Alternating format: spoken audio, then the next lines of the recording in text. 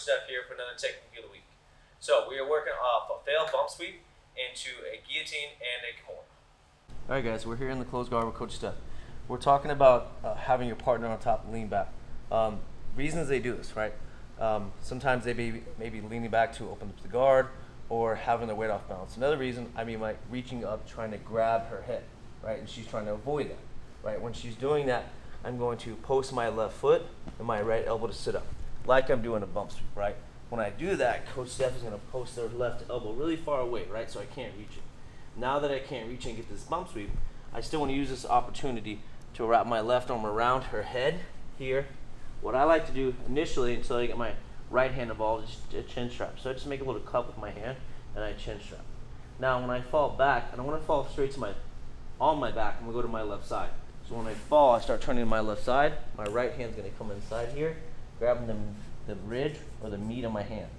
Right? I'm gonna pull that arm, left arm deeper. I'm gonna fall all the way to my left side, trapping Coach Steph's, head on the mat. I'm gonna lock my guard. I'm gonna pull the hands to my chest, left elbow down, right elbow up. like a high elbow guillotine.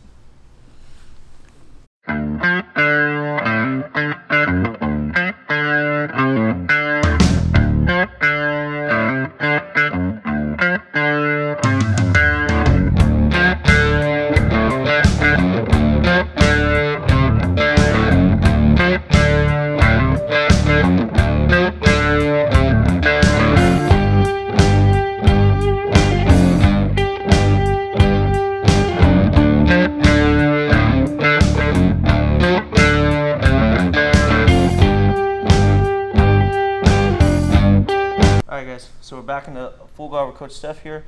We're gonna go off this failed bump sweep again. So, uh, same uh, scenario, I'm gonna act like I'm reaching up to grab her head. When she reached back some post with her left hand, I'm gonna start sitting up, right? I post the left foot, right elbow, just like I did before for the bump sweep, right?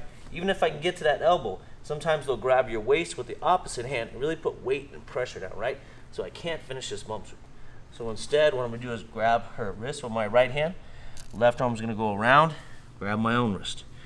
Um, on the grip, I like to specify trying to touch your middle finger and thumb. May not do that, but that's the type of closure I want here.